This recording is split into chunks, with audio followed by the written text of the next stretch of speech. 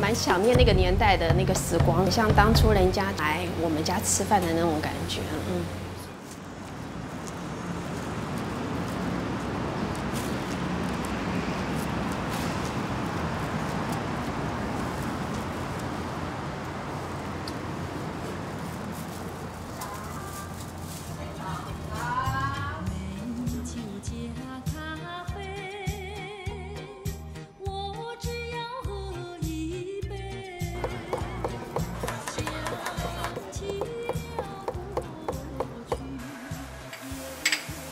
其实我们眷村是大江南北的人都有，可是做的菜大家可以互相吃啊，互相一起年节过节的时候，就是大家妈妈一起杀鸡，全部都在一起。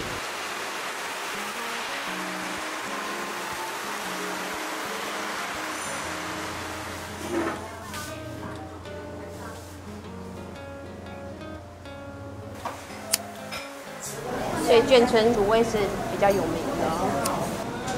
卤味的话呢，可以放的比较久，不用当天吃完，第二天拿出来切一切，热一下都还是可以吃的。肉出来一定要先出水嘛，才不会有那个腥臭味。那出了水之后呢，再下去卤。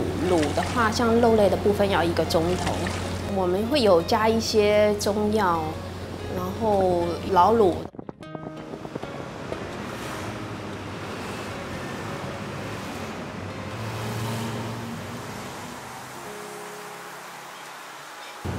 我们的眷村就叫陆光一村。门牌的话，因为我们的陆光总共有八百户，我们家是住在七百五十八号。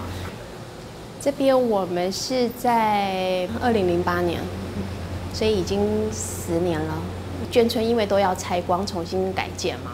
想法觉得可以把以前眷村的旧的东西，那一边保留，然后一边就是想要开个这样子的店。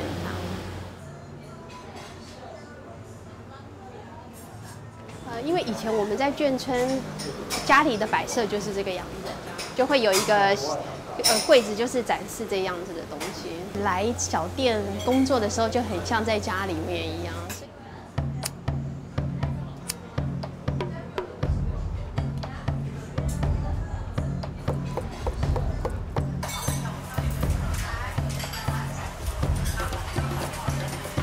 蛮多小孩是在眷村长大的，所以会来这边回味。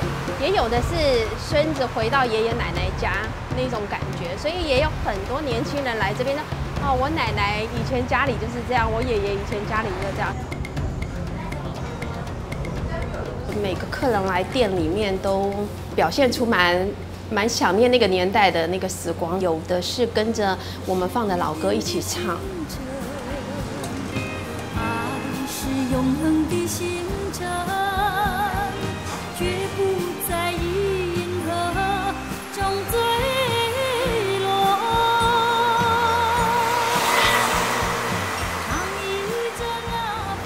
爸爸是云南宜良的人，那来了台湾之后，还是非常想念大陆的。就是开这家店，当初的想法就是。守护着那时候的一个美好的年代的那个时光，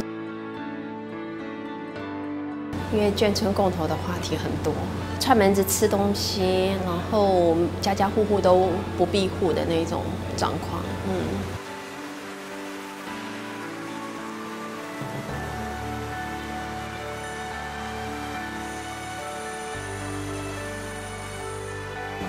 花露水以前妈妈的香水。